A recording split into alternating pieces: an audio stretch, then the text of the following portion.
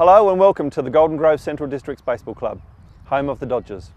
We are at Ely Area Reserve where we have two baseball diamonds.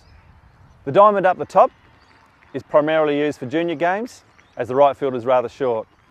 The diamond down the bottom is used for senior games. In the 1980s this facility was used for soccer and rugby games and there was once lighting here but for reasons unbeknown to us that has been removed. Down here is our bottom diamond, where our club's 15 teams get to play. Baseball has been played here since 1977 and we joined the SABL in 1991. Today we would like to show you what it takes to prepare for a game of baseball by setting up a temporary fence.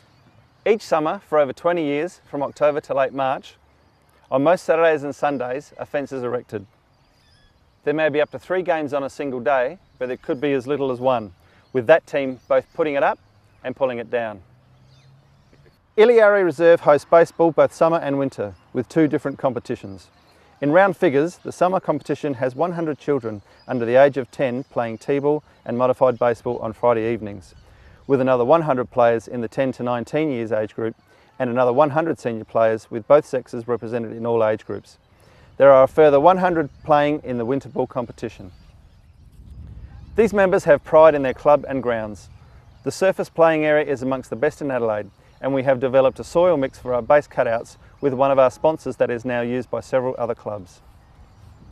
As a relatively young club compared to other SABL clubs that have been going on for more than a century, we are doing what we can with what we've got. We are just wanting to move to the next stage and this is to have a home run fence that doesn't need to be put up twice each weekend.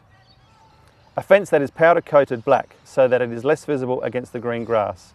An adjusted plan to have three large gates each of three metre openings for when not in game use to allow easy access from any direction for others who may wish to use the grounds. Members of the club feel that because we haven't been around as long as other clubs and don't have the facilities some of the other clubs have, we are not respected. They feel as though there is something missing.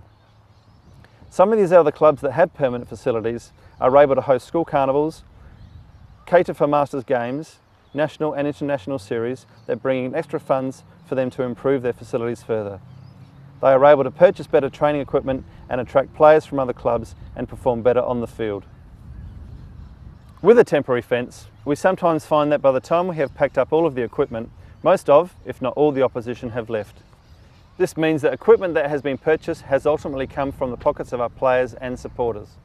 If it takes less time to pack up after the game, the players can be at the club room sooner and interact with the opposition, keeping more of them around longer with a greater chance of them purchasing something from the canteen or bar, which are our two highest money earners. Therefore, what we propose for the club is a permanent home run fence to be erected in the outfield, which is highly beneficial for the club and its hundreds of members, but has minimal impact to the local community and residents. We trust that this short video highlights how important this venture is for the long-term success of this baseball club. Thank you for your time and consideration.